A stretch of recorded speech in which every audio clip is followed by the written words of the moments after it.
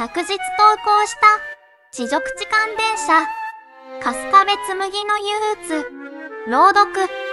という小説の朗読動画が YouTube の判断で削除されてしまいました。性的なコンテンツに関するポリシー違反だそうです。投稿した時は年齢制限をつけられはしましたが、投稿できており、丸1日ほどは視聴可能でした。なぜ、今になって削除されたのか、推測はできますが明確な理由はわかりません。他者から見た際、どのような評価であれ、作者である中の人にとっては、思いを込めた大切な作品でしたので、とても悲しいです。そういった悲しみの緩和、そして、YouTube の削除基準を推し量る上での、皆様の参考になればとの思いから、小説家になろうというサイトに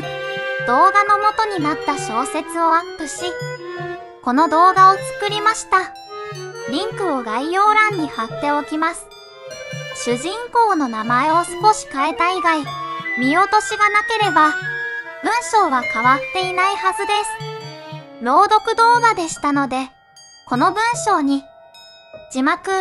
こちらのサムネ画像と同じキャラクターの立ち絵、今ループしている抽象的な背景、今流れている音楽をつけただけの動画でした。